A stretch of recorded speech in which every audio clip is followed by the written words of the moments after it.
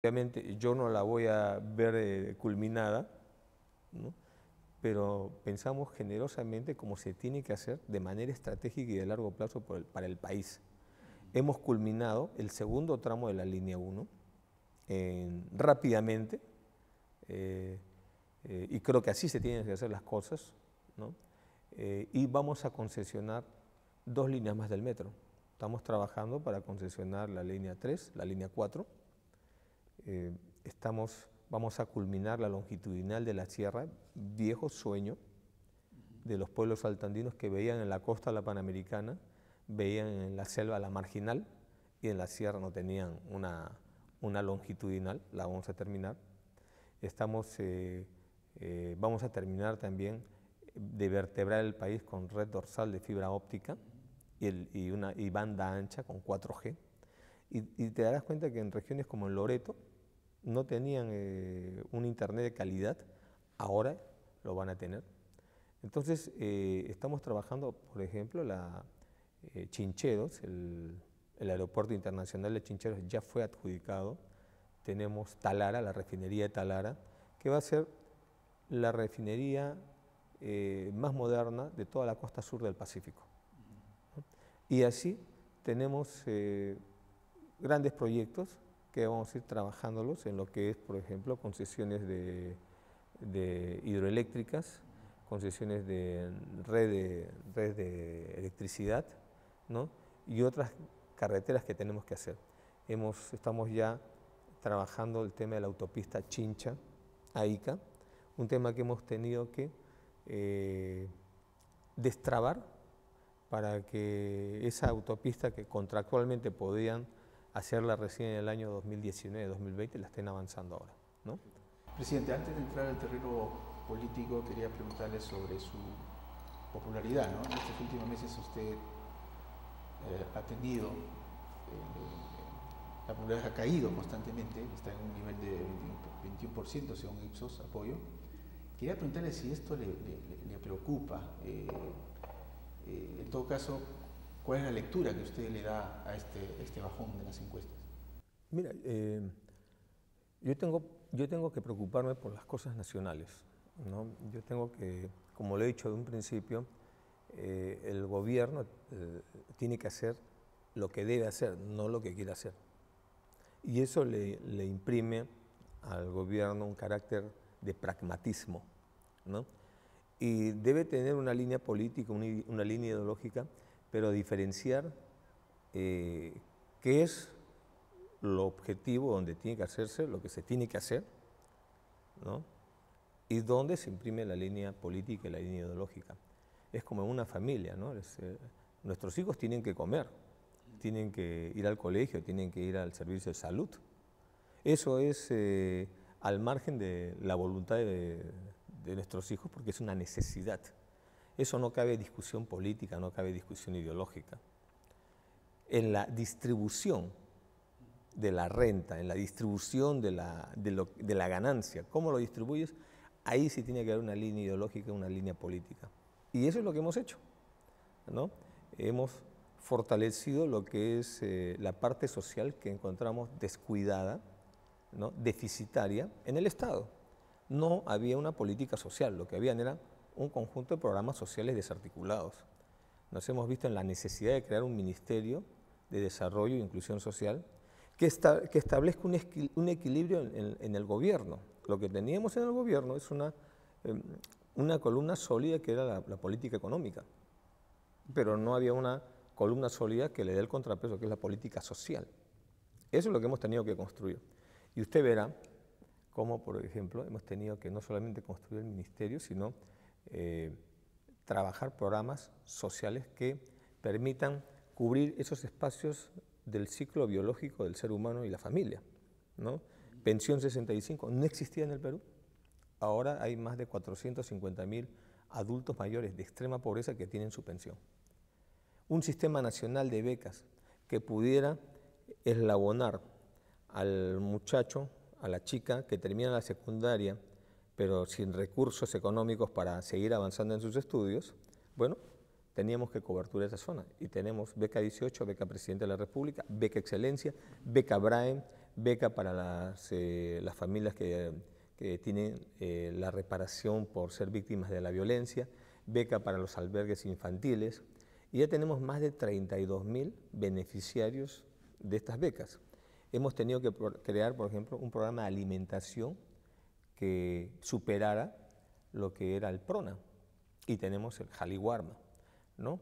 Un programa que en algunos casos con razón y en otras sin razón lo han querido un poco, han querido un poco mermar la confianza, pero hoy día este programa eh, alimenta, da alimentos en los colegios públicos a 2.5 millones de niños y niñas diariamente.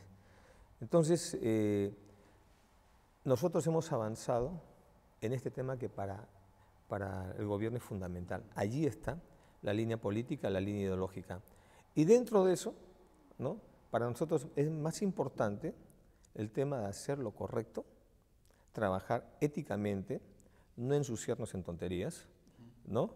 Eh, y el tema de, la, de las encuestas es un tema que va por otro canal, no, es un tema de preocupación para nosotros, mi preocupación es, eh, es el país.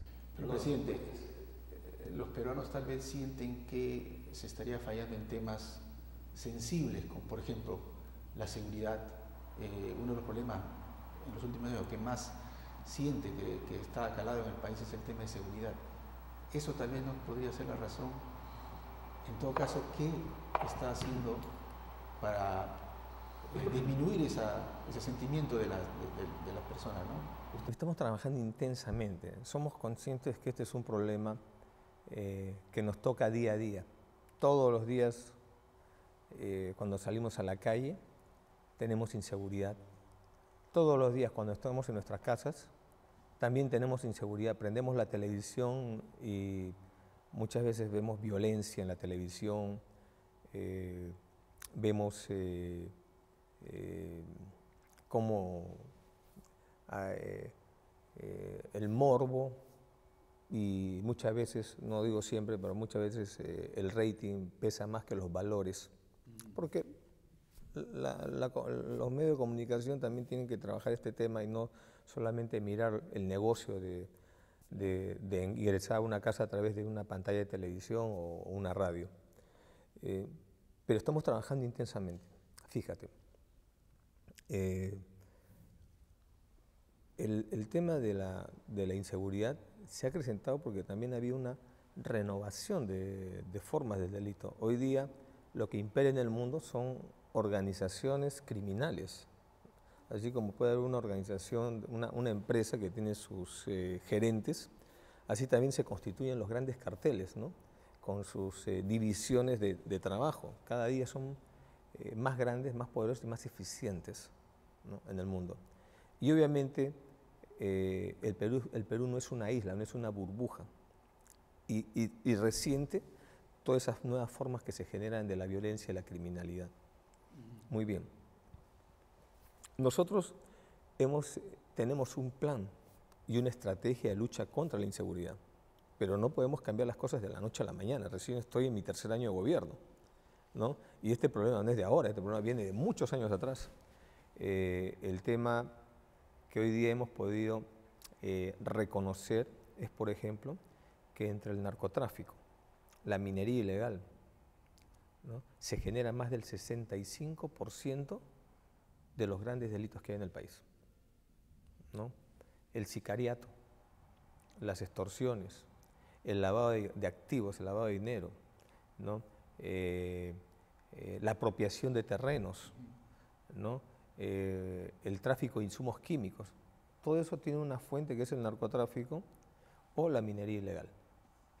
¿Qué estamos haciendo nosotros? Estamos combatiendo, por un lado, a, a estas dos eh, fuentes de, delitos que son muy poderosos. Usted es testigo, todo lo que hemos avanzado en lo que es minería, lucha contra la minería, minería ilegal, creando, construyendo un camino para la formalización. De tal manera de darles ahí la posibilidad a muchos mineros que hoy están en la ilegalidad a que entren en la formalidad, recuperando espacios para, que fueron eh, destruidos espacios de bosques primarios que fueron destruidos o espacios donde se sembraba castaña en Madre de Dios que fueron destruidos, arrasados y, simplemente han, han dejado una cicatriz en Madre de Dios y en otras regiones del país. Estamos combatiendo esto con eficacia, con eficiencia, respetando el Estado de Derecho y lo que vamos a hacer es un, proceso de eh, recuperación de bosques.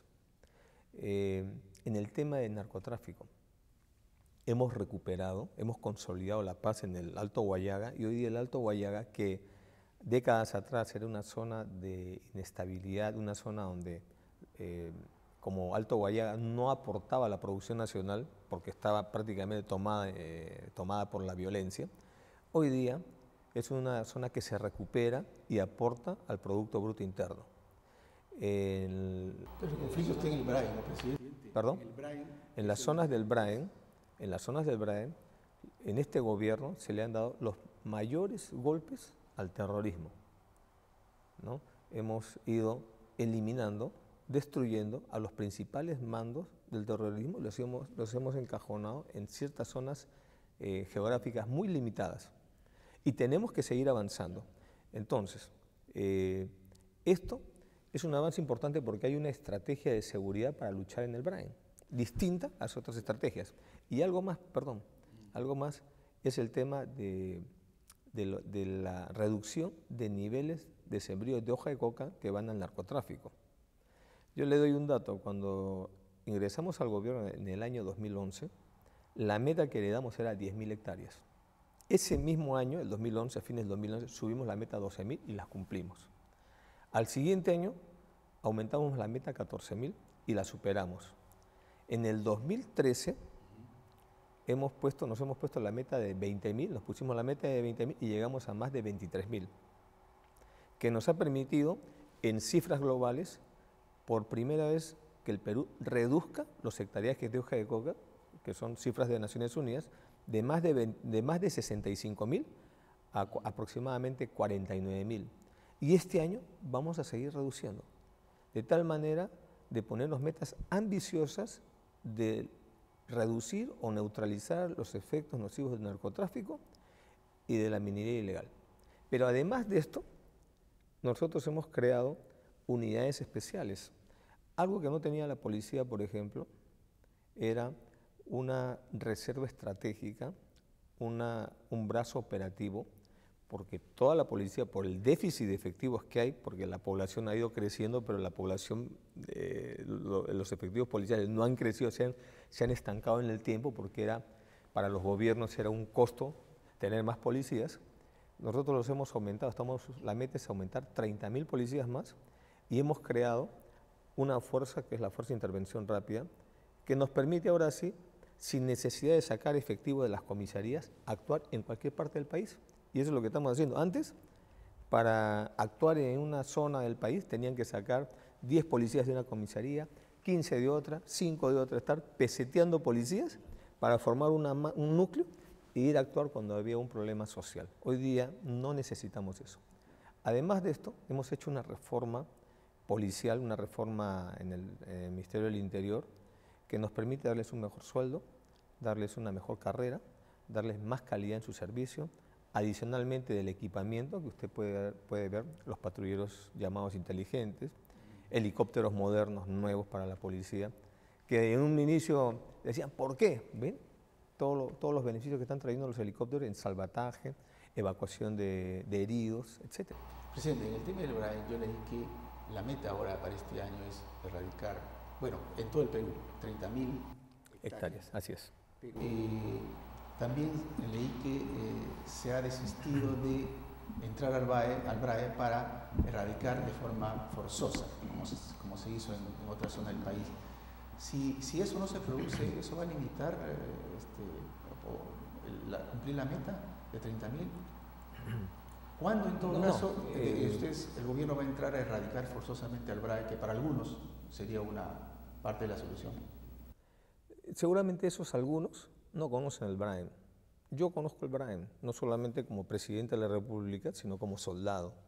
Por eso puedo tener de repente una, mejor, una, mejor eh, una preocupación, porque en lo que nosotros queremos es eh, consolidar una política de equilibrio de la producción de hoja de coca con el consumo tradicional y no con el narcotráfico, pero sin derramamiento de sangre, sin costo social. Uno de los errores que se aprendió, por ejemplo, en el Alto Guayaga fue que se inició la erradicación compulsiva de la hoja de coca en el Alto Guayaga y el efecto fue que consolidaron la, unidad entre la población cocalera y las huestes del, terrorismo, porque los terroristas decían, bueno, nosotros vamos a defender la hoja de coca, ¿no? Entonces se creó una bandera eh, inútilmente, se creó una, falsa bandera que, que, creó problemas en la lucha contra el terrorismo. Nosotros no podemos volver a cometer ese error. Tenemos que aislar a los, a los terroristas que hoy día se dedican a la delincuencia común, a darle seguridad a las mafias del narcotráfico y proteger a la población que por necesidad económica se dedica a sembrar hoja de coca. Y por eso lo que estamos haciendo en el, en el Brain es iniciar un, un programa de reconversión productiva de nuevos cultivos con el acompañamiento del Ministerio de Agricultura. Obviamente, eh, la meta eh, va de todas maneras, eh, no está directamente vinculada a la, a la, intervención en el Brain, pero también quiero darles el mensaje claro de que de todas maneras vamos a reducir los cultivos en el Brain. Lo que estamos poniendo es, digamos, la mejor manera de hacerlo, pero eso no nos va a hacer abdicar a que, a que el principio de autoridad también prime en el Brain. Justamente, presidente, en se ha convertido en un punto de salida de las narcosayonetas. ¿no? Eh, en los últimos años, este tipo de exportación de, droga por aire es, es, el mayor problema. Y un tema que se estaba evaluando, o que se está evaluando, y quisiera que usted me lo precise en esto, es, es la interceptación de naves. ¿no? Eh, hace años, hace una década, en el 2001, eh, hasta el 2001 se interceptaba, hasta se derribaban las naves sospechosas, pero pasó este accidente donde murieron dos ciudadanos estadounidenses y la cooperación de Estados Unidos en este punto se suspendió. ¿Ustedes piensan otra vez interceptar naves y con qué fin? ¿Sería para eh, obligarlos a, a descender, derribarlos en ese extremo? ¿Cuál sería, digamos, en todo caso, esta evaluación que están haciendo?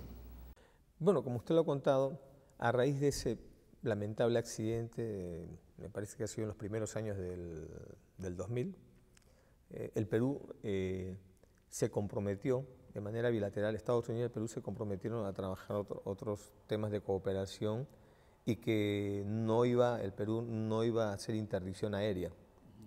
Eh, hay un compromiso formal en esto lo que estamos haciendo nosotros es eh, replantear el tema, revisar esto con los Estados Unidos, ya que es un acuerdo bilateral, de tal manera de poder dar un mensaje más contundente a estas narcoavionetas que efectivamente eh, hoy día hacen un puente aéreo entre zonas del Brain y, Bolivia o Brasil. ¿no? Gran, parte de la, de la, droga se va a Europa vía, vía África.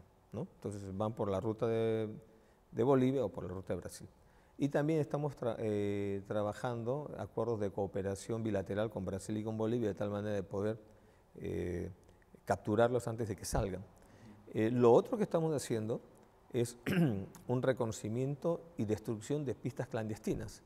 Usted puede ver, en ningún gobierno anterior se puede ver la cifra, la cifra que hoy día estamos mostrando de destrucción de pistas. Solamente en el BRA hemos destruido ya más de 50 pistas de vuelo solamente en el Brain. Y eso sin contar las pistas clandestinas que se construyen en las zonas de Pichispalcasu, Ciudad Constitución, el Alto Guayaga. ¿no? Entonces, eh, de esta manera estamos